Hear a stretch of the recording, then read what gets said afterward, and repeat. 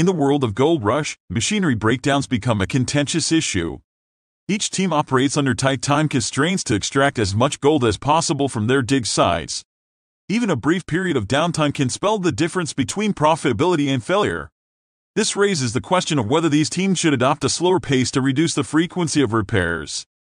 Reddit user u slash subscribes to this school of thought, suggesting, on all the gold rush shows, they always push the shaker deck and water pumps to their limits in order to process more dirt through the plant.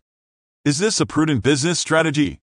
While increased production yields more dirt through the plant, it also exacts a heavier toll on the machinery in terms of wear and tear. This perspective holds merit, as it underscores the limitations of mining equipment.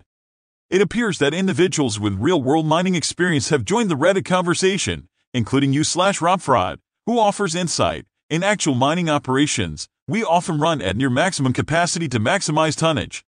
We also have dedicated mechanics, spare parts inventories, and personnel tasked with scheduling and planning shutdowns for efficient maintenance. However, the full throttle approach seen on Gold Rush and its spin offs is likely driven by the need for captivating television. Parker Schnabel, Tony Beets, and the show's principal cast members possess extensive experience in the mining industry. They presumably understand the maintenance requirements to keep their machinery operational for extended periods. Consequently, many Reddit fans speculate that occasional servicing takes place off camera. Nevertheless, preventative maintenance lacks the cinematic appeal that reality shows like Gold Rush thrive on. Such shows often employ scripted moments and editing techniques to maintain viewer interest. Reddit users familiar with mining equipment and practices believe that crews on Gold Rush do perform maintenance, but they also acknowledge the dramatic allure of showcasing full throttle operations and the tension that results from potential breakdowns.